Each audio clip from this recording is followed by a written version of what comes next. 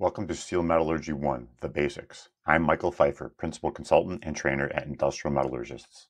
In this video, I will explore the state of steel engineering, its properties, production processes, and applications. Steel is an important part of human civilization. We've had it, we've been using it for thousands of years, and we're at a point now where our knowledge about it has enabled making great products and producing steel in, in huge quantities. So let's delve into this fascinating material. In steel, iron is the main element, and then various alloying elements are added depending on the type of steel. in most steels, the most important alloying element present is carbon. Other alloying elements uh, include manganese, silicon, and copper, and some alloys, nickel, chromium, molybdenum, and other alloying elements are added. The alloying element added depends on the desired properties of the steel.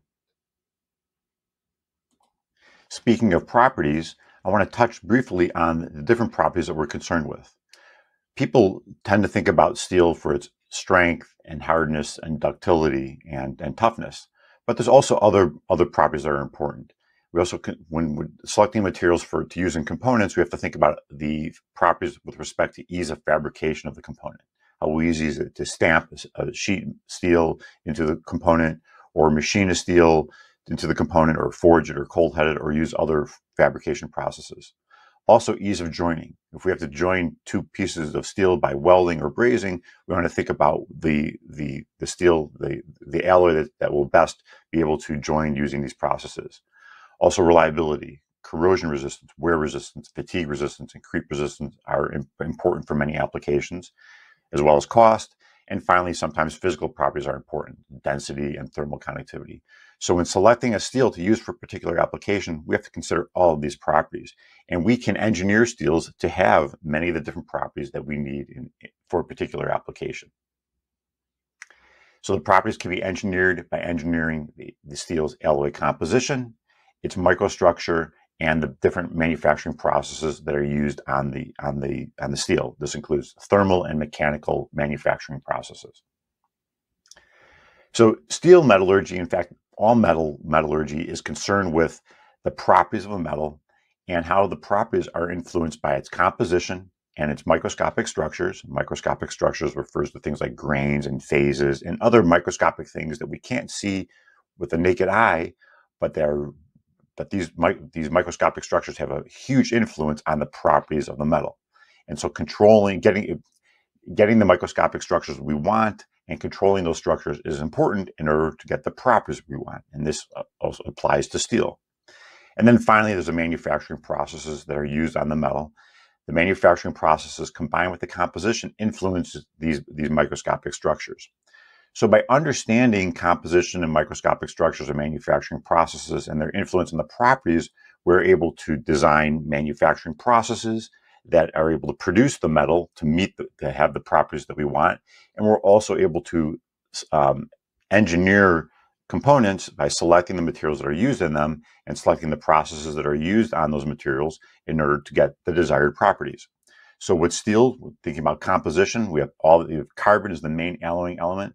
And we have these other alloying elements that can be added for different purposes. And we add those different alloying elements based upon the requirements for the particular steel being made. Microscopic structures refers to a lot of different things. There's some terminology that hopefully that you're a little bit familiar with if you work with steels because these are important terms that are used by metallurgists and people involved in steel making all the time and they are it's important to understand these terms when we're discussing steel selection and processes and also when we're talking when we're trying to solve problems so the phases present in the steel and grain size and other things are important microscopic structures. And they're present in all steels. And finally, there's a different manufacturing processes that are used on steels. There's a number of different heat treatments and mechanical treatment. Some of them are done by mills. Some of them are done uh, after, after a component has been fabricated and there's a final heat treatment. Regardless, we use these heat treatments to modify the microscopic structures in order to modify the properties. So by understanding the composition we need and by understanding the micro manufacturing processes that are used on the steel, we can get the properties that are needed for a particular application. What does all this knowledge do for us? Well, this knowledge has enabled two specific things that are critical for this for for our, our, our civilization. One is the the development of ultra high volume steel production processes. The, the knowledge of, of the steel metallurgy, these things discussed here, has enabled development of, of highly automated processes that are able to produce a tremendous amount of steel every single day. And the steel consistently meets the requirements for the, for the customer's use. It also enables us to engineer a wide range of components with a wide range of properties for a wide range of applications. There are two uh, processes for making steel. One is uh, uh, steel is made at an integrated mill, and the other is steel is made at a mini mill. Um, with the integrated mill, iron ore is converted to pig iron, and at a mini mill, scrap is the main source. With an integrated mill, um, iron ore is used. Is it, it's, iron ore is, is uh, put into into the blast furnace along with coke and limestone. This reaction occurs, and what's produced is pig iron. It's molten iron with this composition. It has a high carbon, high silicon, high manganese, and also uh, impurities in it. Then the, the the pig iron is then further processed to get the steel, molten steel, in a, in a, in a state ready for, for casting. At a mini mill, an electric arc furnace is used um, along with scrap metal. The scrap metal is loaded into the arc furnace, and the steel is melted, and then this then, uh, further processing is done to the steel, and then it's ready for casting. A common casting process is continuous casting, this involves putting the molten metal into a ladle, and the ladle, uh, the steel goes into a tundish and into a copper mold where the steel uh, solidifies. And this shows a continuous casting line. And with continuous casting, we produce slab, which is used to produce plate and strip, blooms, which is used to produce large sections such as beams, and billets, which is used to produce tubing, pipe, bar, and other long products. Sometimes the uh, the, the, molten steel is cast into an ingot. This involves pouring the molten steel into large molds. This is used when, when a, a non-standard alloy grade is being made or when the quantities don't justify continuous casting. And it's also used for producing very large components. There are five general families of steels. Carbon, low alloy steel, high strength low alloy steel, tool steel, and, and stainless steel. The particular type of steel depends on the composition, the carbon content, and the different alloying elements that are added to the steel. We can create, and, and within each different category of steel, there are also several different classes of steel based upon the alloy composition and the microstructure that's developed in the steel due to heat treating and other processing. So heat treating is used to modify a steel's microstructure to get specific properties that is strength, hardness, fatigue resistance, and so on. And a heat treatment involves heating the steel up, holding it at a certain temperature for a certain period of time, and then cooling it. In some cases, the cooling rate is important. In other times, uh, other other heat treatments, it's not. And we're using, in, in many cases, these heat treatment to cause a what's called a phase transformation to go from one or two phases to a different phase. So this is showing going from ferrite and cementite to martensite. Um, not all heat treatments involve phase transformations. These phase transformations, regardless of the heat treatment, um, the the purpose of the heat treatment is to is to get a certain microstructure and to get certain properties in the steel. So examples of heat treatment are hot rolling, which is actually a heat treatment and a thermal and a mechanical treatment. Annealing, there's three different annealing processes. Normalizing, uh, through hardening, which involves three different, the, for which there are three different processes, and case hardening. There's three different case hardening processes. Hot rolling involves rolling the steel at, at high temperatures. The purpose is to reduce the thickness of the steel, break down the cast microstructure, and develop a uniform grain structure, which then results in the desired mechanical properties.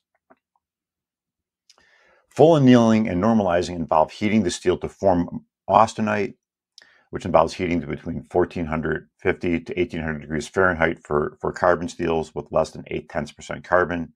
The purpose of a full anneal is to reduce the strength and increase the ductility for easier form, forming and machining. And the cooling step for this heat treatment involves a slow cool. The steel is cooled in the furnace. With normalizing, the purpose is to create a uniform microstructure and or obtain specific mechanical properties. And in this case, the steel is cooled, uh, is air cooled, which is a faster cool compared to the full anneal. Both uh, um, both heat treatments involve a, uh, result in, in forming a microstructure similar to one shown here. Though the furnace cool, these black lines, which are plates of cementite, are, are thicker and more widely spaced, and with normalizing, they're thinner and smaller and more narrowly, narrowly spaced. And that difference results in different properties between full anneal and normalizing. And quenching and tempering involves heating a steel to 1800, 1500 to 1800 degrees Fahrenheit. This would be for carbon steels. Then fast cooling the steel in water, oil, or some other quenchant, and then tempering the steel, heating it between 250 to 1250 degrees Fahrenheit, depending on the alloy and the desired final properties. During this, uh, this heat treatment, um, it's typically used with steels that consist of ferrite and cementite, and the purpose is to form martensite in the as quenched state, martensite is, is very strong. It's also brittle, and the purpose of the tempering is to reduce the brittleness. This table shows the typical plain carbon uh, steel properties for different carbon contents for different heat treatments. So we have normalized versus quenched and tempered. Um, and we can see that for any particular carbon content, the quenched and tempered steel has higher hardness and higher strength and that as the carbon content is increased, the strength and the hardness of, of the steel increases, whether it's normalized or it's quenched and tempered. So this table is a nice uh, example demonstrating the the the um, the effects of carbon content and heat treatment and the resulting microstructure on the properties of the steel. There are several different forms of steel available for making different components and structures. There's plate, sheet, tube, bar, also rod and wire and pipe. And there are a wide variety of applications in which steel is used construction, automotive, infrastructure, appliances and consumer goods, aerospace and defense, toys, medical devices, and many others. Um, so steel is a very versatile material. There are a lot of different levers available for, for modifying steels in order to get different properties for meeting the different applications. So if you're interested in learning more about steel metallurgy, consider taking our steel metallurgy fundamentals training. In this training, you'll learn about steel alloys and steel alloy designations, phases and common microstructures present in steels, steel heat treatments, the effects of carbon content and heat treating on steel microstructure, the effects of carbon content and microstructure on steel strength, hardness, and toughness, and many more things related to steel metallurgy. Our training will give you a solid understanding of steel metallurgy fundamentals so that you'll be better equipped to make decisions and solve problems related to steel. This includes component design, supplier evaluation, solving product failures, and solving supplier and production quality problems.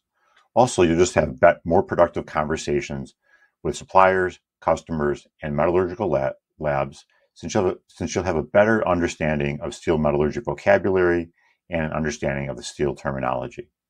I hope you found this video to be um, educational. Please send questions at my my email or my phone or give me a call. And finally, if you did enjoy it, please like share with you know using social media and subscribe to our channel and other other um, other things that we offer. So thanks for watching. Bye.